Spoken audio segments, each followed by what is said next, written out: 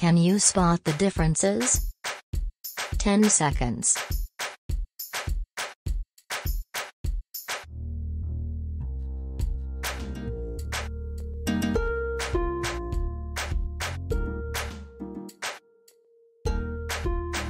Ten seconds.